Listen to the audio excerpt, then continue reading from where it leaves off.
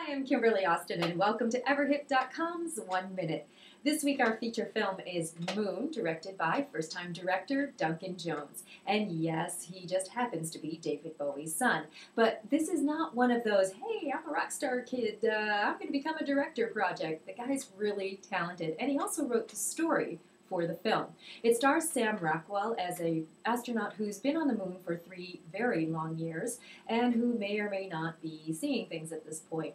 In the scene you're going to see now, um, Kevin Spacey is the voice of his guardian robot, Gertie, and I don't know what's creepier in this scene, Kevin Spacey's voice acting or the space age Philby. You take a look for yourself and decide. Sam, is everything okay? Sam, What? you don't seem like yourself today. Has Uh, something happened? You know, can you turn that off, please? Jesus Christ. Sam, it might help you to talk about it. Gertie, have you heard anything new about anyone fixing lunar sat? No, Sam. What I understand is it's fairly low on the company's priority list right now. You tell them to sort that out. You know what I'm talking about? That's not. I've only got two weeks, but it's not fair to whoever's coming up here next.